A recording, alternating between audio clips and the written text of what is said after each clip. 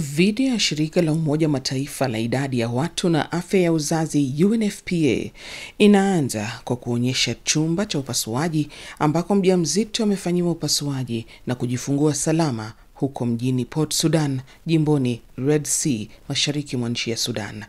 Hapo awali hospitali hiyo ilikuwa ikipokea wajawazito mia tatu mpaka mia nne hamsini wanaojifungua kwa njia ya kawaida na wale wanaohitaji upasuaji walikuwa takriban mia tatu kwa mwezi. Daktari Randa Osman ni mkurugenzi mtendaji wa hospitali hiyo ya wazazi ya Port Sudan.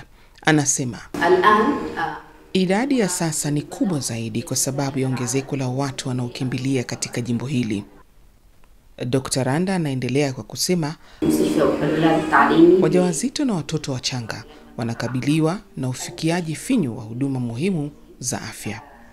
Hospitali hii ya kujifungulia ndiyo pekee iliyopo katika mji huu na inatoa huduma za dharura za uzazi, uangalizi baada ya kujifungua na upasuaji.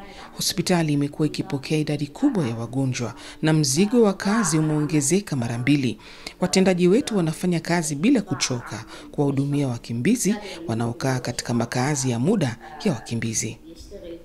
Daktari huyu anahitimisha kwa kueleza kile wanachohitaji.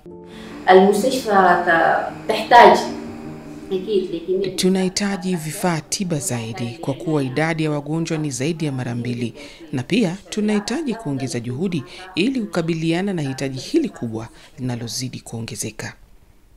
Shirika la Umoja wa Mataifa la idadi ya watu na afya ya uzazi UNFPA linafanya kila juhudi kwa kushirikiana na mashirika mengine ya Umoja wa Mataifa na wadau kuhakikisha wanawasaidia watu wote wenye uhitaji.